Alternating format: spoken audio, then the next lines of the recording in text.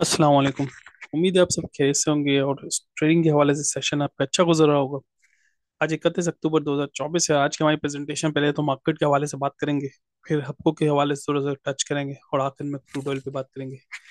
सबसे पहले मार्केट की बात करें। आज मार्केट नेगेटिव रही। जैसे मैंने पिछले सेशन में बताया था मार्केट ओवर ओवरबॉट कंडीशन में पहुँच चुकी है। तो बहुत ज़्यादा एक्सपेक्टेशन है कि करेक्ट कैरी के पंद्रह सौ पॉइंट नेगेटिव है। काफ़ी सारे लोग आज basically hub majority of the लोग जो ट्रेडर्स जाते हैं। आई एम श्योर उनका स्टॉप लॉस हिट हुआ होगा और हम देख सकते हैं काफ़ी ज़्यादा नेगेटिविटी थी।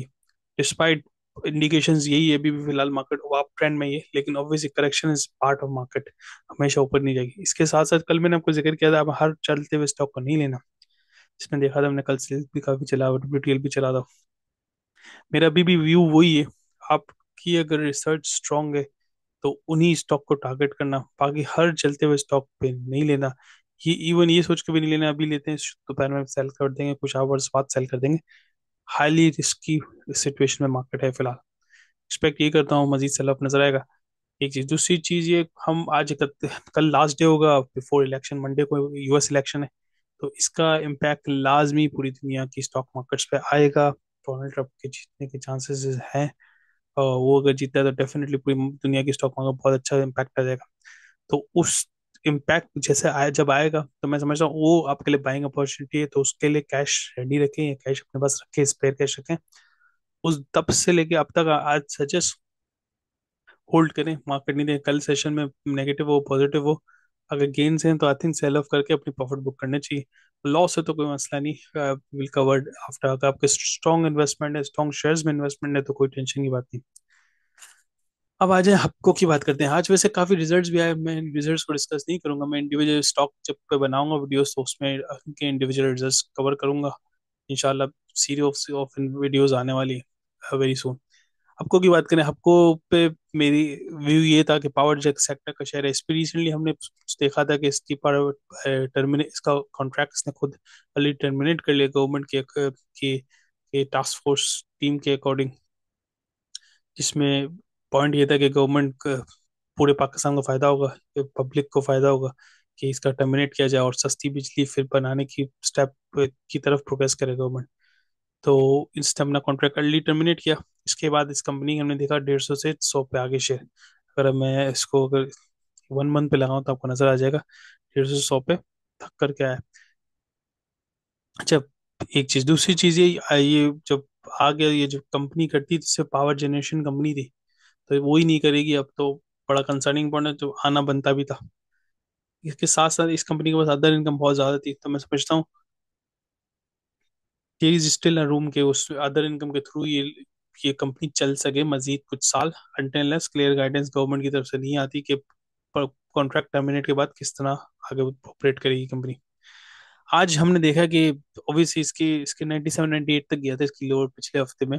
और थोड़ा सा ऊपर आई फिर नीचे चले गई अब मैं समझता हूँ फ़िलहाल इस कंपनी में मैं समझता हूँ नहीं डालना चाहिए। इसकी सीधी सीधी वजह ये, जब तक हमारे पास क्लैरिटी ना हो कि किस डायरेक्शन में जा रही है। मतलब क्या करेगी आने वाले वक्तों में। आज मैंने इसकी एक न्यूज़ भी देखी थी कि इसमें आया था कि आपको इंस्टॉल कर रही है EV charging network across Pakistan. तो एक चीज़ पहले तो मैं आपको बात बताऊँ आपको पहले तो हमने रिसेंटली पढ़े थे कि बीवाईडी के साथ कॉन्ट्रैक्ट करके इलेक्ट्रिक व्हीकल्स में इन्वेस्ट करने का सोचिए इसकी सब्सिडी के साथ। और फिर हमने बीवाईडी की लॉन्च भी देखा। और अब अब आज ये न्यूज़ आई कि ईवी चार्जिंग इंस्टॉल कर रही है।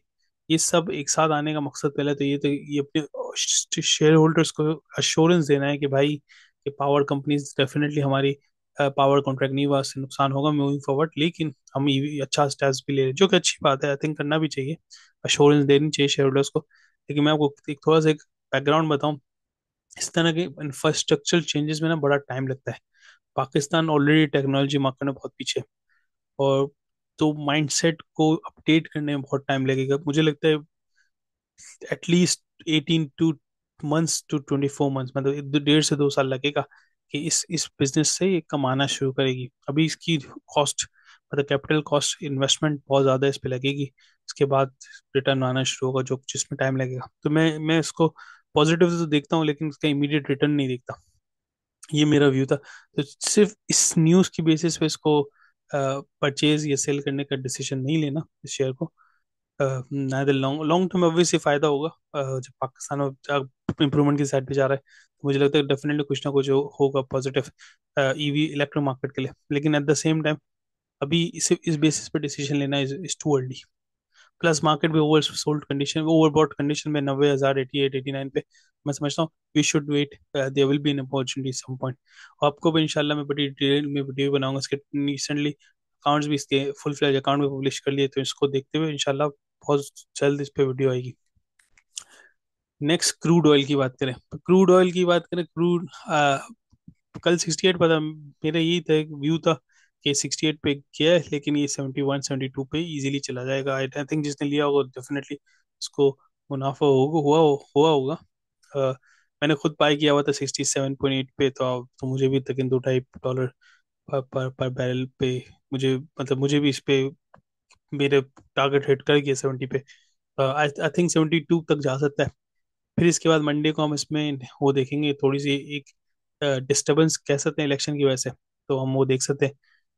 इसके बाद हम देखेंगे यूएस के रिसेंटली ऑयल मेरे ख्याल कल आज सुबह या कल कल इसका ऑयल डिमांड डेटा भी आया था जिसमें मैंने दिखा दिया US oil demand is too much मतलब इसकी डिमांड बहुत ज़्यादा है ऑयल की तो मैं समझता हूँ। इसकी वजह से भी मजीद पुश होगा ऊपर की साइड पे।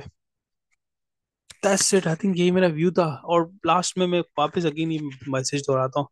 मार्केट अगर आपने, आपके पास कैश पड़ा हुआ तो हर चीज़, जो चीज़ गिर रही है फ़ौरन से, आप उसको बाय ना करें।